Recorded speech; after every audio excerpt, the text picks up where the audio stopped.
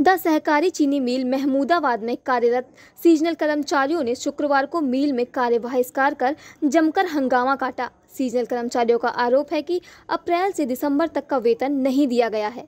कर्मचारियों ने यह आरोप भी लगाया है कि मिल से मिलने वाले वेतन से पीएफ तो कटता है, पर कर्मचारियों को पीएफ आज तक नहीं मिला। वह दूर दराज से यहाँ आकर काम कर रहे हैं। कर्मचारियों ने जीएम आलोक कुमार के खिलाफ मिल परिसर में जाकर नारेबाजी की और कार्य रोक कर धरने पर बैठ गए। कर्मचारियों ने प्रदर्शन करते हुए, चाहे जो मजबूरी हो, हमारी मांगे पूरी हो। मजदूर, एकता, जिंदाबाद जैसे नारे लगाकर कर्मचारियों का कहना है कि वेतन न मिलने से उन्हें परिवार के लिए दो वक्त की रोटी जुटाने में भी समस्या खड़ी हुई है।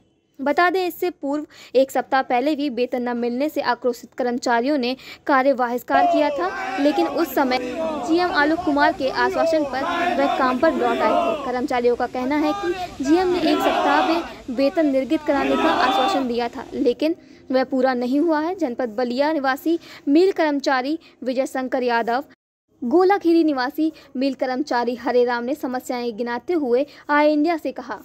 समस्या हम लोगों की ये है। हम लोगों को एक अप्रैल को जो पिडाप हुआ है, कुछ आदमी छः अप्रैल को पिडाप हुआ है। तब से?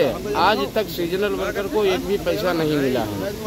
और जो पीएफ जनवरी 18 से पीएफ जो कटता है, भविष्य निधि कटती है, वो पैसा हमारे वेतन से कटौती कर लिया जाता है, वो भी नहीं जमा किया गया। और कोई भी पैसा नहीं दिया गया, इस वजह से हम लोग जो है परेशान है। हम लोगों की समस्या है। हम लोगों को जो है परिवार चलाना मुश्किल हो रहा है। ट्रेनिंग बाकी है। दो साल का गन्ने का है इंजीनियरिंग मैनुफैक्चरिंग का है। तनख्वाह नवंबर दिसंबर जनवरी का बाकी है। और वह टाइम सत्रह अठारह उन्नीस बीस का बाकी है। और पी एफ़ जमा नहीं हो रहा है।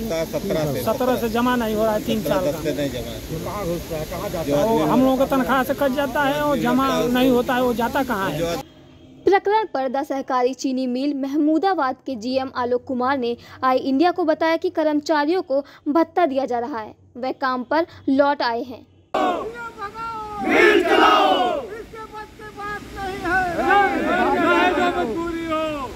पर आपकी नज़र हमारी। देखते रहिए आई इंडिया।